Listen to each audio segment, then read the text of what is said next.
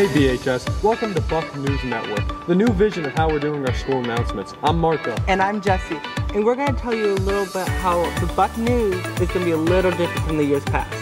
YouTube, Instagram, there's going to be a multitude of different social media platforms we can use so that you can watch our announcements. They may not show in Buck Clubs as much anymore, but we still want to do our best to get that out to you.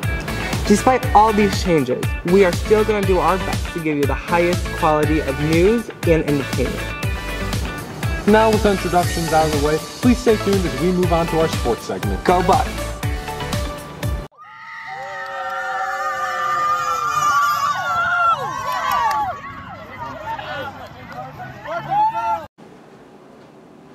Hey everybody, I'm Patchy the Pirate. We're now going to be moving on to our sports segment, where we're going to interview multiple athletes. But first, we're going to interview cheerleader Jesse Moyer on how his season is currently going.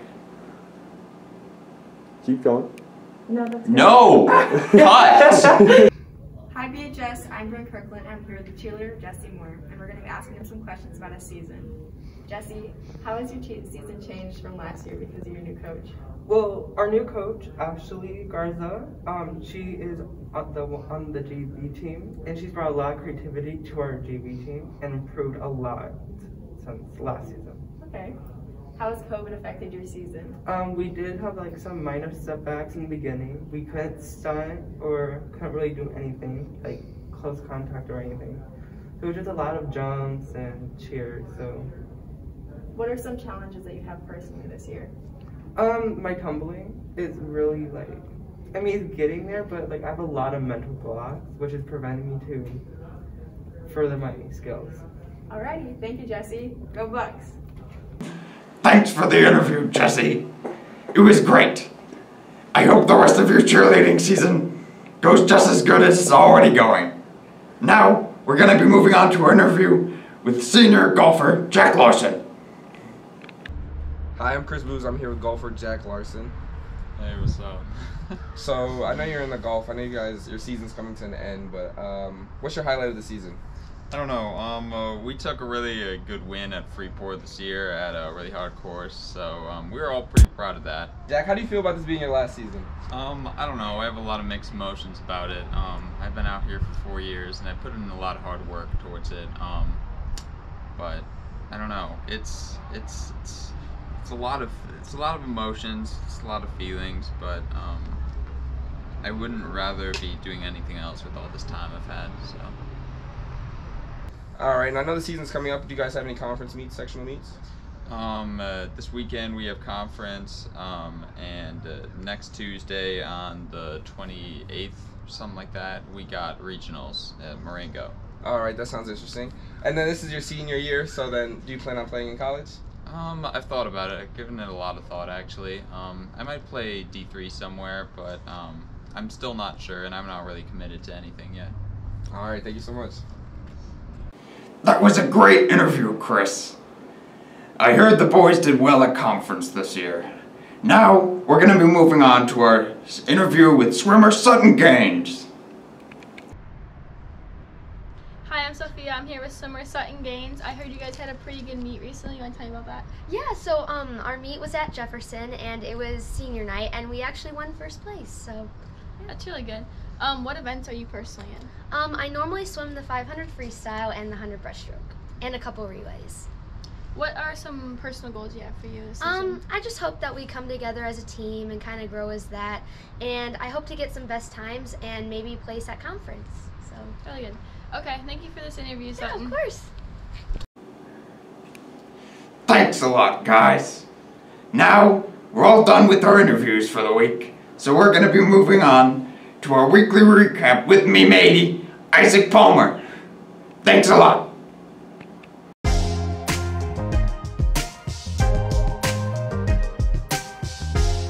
My name is Isaac Palmer. I'm here with your week's weekly recap. This week we started off with homecoming week, uh, consisting of pajama day on Monday, toga and tropical day on Tuesday, Jersey day on Wednesday, uh, Generations day on Thursday, and Spirit day on Friday. The parade was on Thursday. Following was the Powder Puff game. Um, our football game, as well as getting to crown our homecoming king and queen, is on Friday as well. Um, that's all I have for you today for your weekly recap. Go Bucs.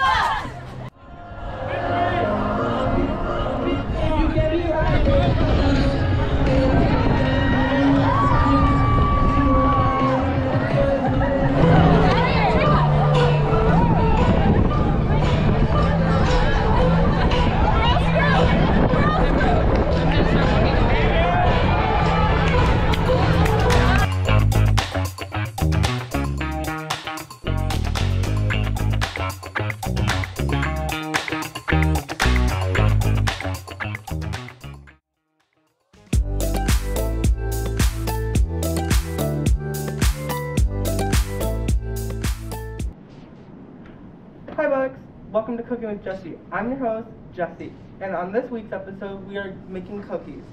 So, my ingredients I have eggs, chocolate chips, vanilla extract, brown sugar, sugar, salt, both baking powder and soda, flour, and I have melted butter. So, in the first step, you want to add a half tablespoon of baking soda and baking soda, or baking powder, into the flour, and add a teaspoon of salt in the flour, and mix it together, like so.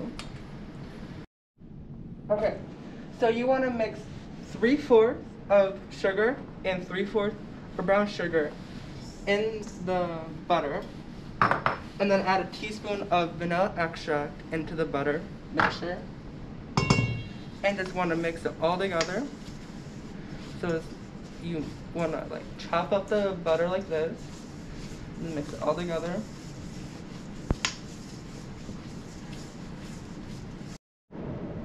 Alright, so now you want to take your flour mixture when you put all your um, baking or your sugars in, and just like do a little at a time. So, and just like mix it in.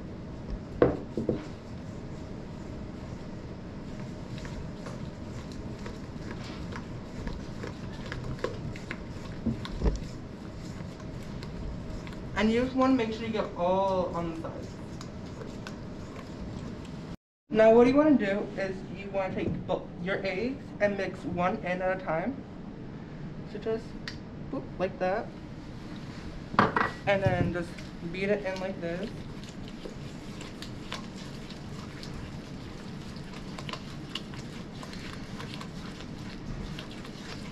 And then take your other egg and just dump it in. And mix that into the mixture too. So now since we have all of our mixture together, you want to add one cup of chocolate chip at a time. So you just want to mix it around like so. And then add the other cup of chocolate chip.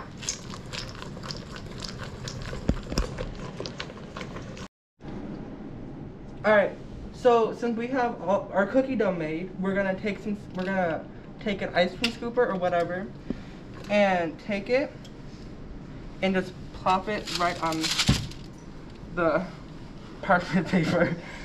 But first, you want to make sure your oven is heated at 375 so they can cook. So I'm just gonna do a couple.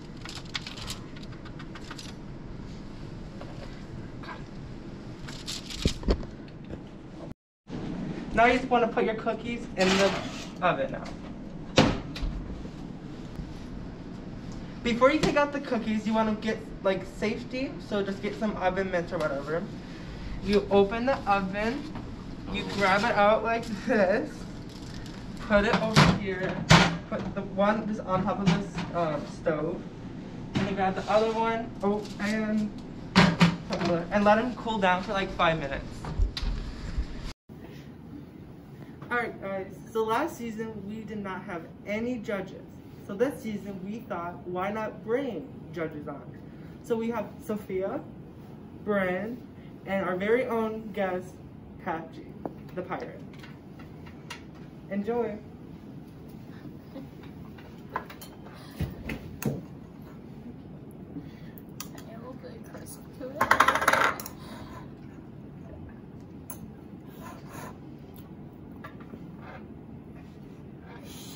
you go first. It's not the conventional cookie, but it's still delicious. It's pretty good. It's got a little bit of crisp to it, but also like soft. It's a little soft and doughy. Are you rating it? I rated a 7 out of 10. 6.5. I would give it a 5. Thanks guys for watching this week's episode of Cooking with Jesse. Tune in next week to find out what else we're cooking.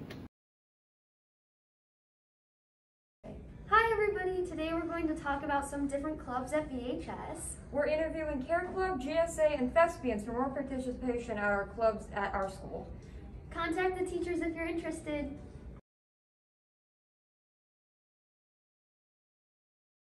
I'm here with Mrs. Pedersen and Mr. Tanner, and we're going to be talking about KARE Club at BHS. So first off, what is KARE Club exactly? KARE Club is our um, environmental club. All right, so what does KARE Club stand for? Keeping and revitalizing the earth. All right, and do you need to be in environmental science to be involved? Definitely not. You can be any old person, any any grade level, anybody in the building can be involved. Perfect. So when do you guys meet? We're meeting every Monday mm-hmm. from right after school till about four four-ish. Four-ish. And what is the best way to reach you guys? Email. Email. Or coming by our rooms. Yeah. We're in room 100 and 104. Perfect. And why should students join KARE Club? Because it's awesome. Students should join KARE Club if they care about the environment and would like to be active stewards in the community. And um, if they like to go outside and enjoy the outdoors. Great, perfect. Thank you. Three, two. Hi, everybody. I'm here with Ali and Amber, and I'm going to ask them a few questions about KARE Club. So, what have you learned since joining KARE Club? Okay, well, personally, I feel like I've become way more environmentally friendly and like um, conscious of like how I'm treating the earth since joining KARE Club. I've started a garden and also we have a compost bin at home. Oh, I didn't know. And what is the best part about KARE Club? I feel like just staying after school and like um, talking about topics that like everyone's interested. Obviously, we all joined because we care about like the environment and also like we like science, you know. So just being around people that like like to have the same interests as you is really cool. and not only for like the earth as a whole but for the high school because there are some changes that could be made here so hopefully we can make those possible as well And what is the next activity you guys are doing as a club? Okay, uh, this Thursday we are participating in the homecoming parade, and we're going to be passing around these little paper earths that you can plant in the ground, um, and they're seeds.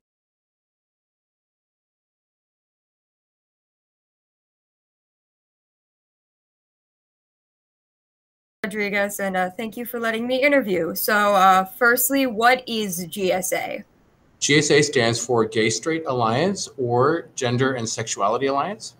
And it is a place mainly to socialize uh, and meet other people, uh, um, including allies. All right, what should you expect in GSA, like activity wise?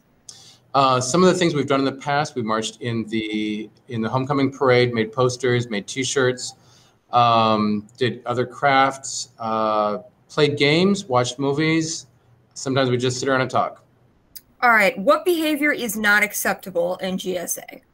GSA is a place where people come to be vulnerable and to be accepted. So there should be no bullying, no name calling, any type of disrespect. We honor people their names, their identity, their pronouns. All right. And lastly, when does GSA meet and which classroom? GSA meets on Thursdays right after school from 3 to 4 in room 228. Awesome. Thank you so much for letting me interview you. And I'm excited to go to GSA, and I hope everyone else interested is as well. Thank you.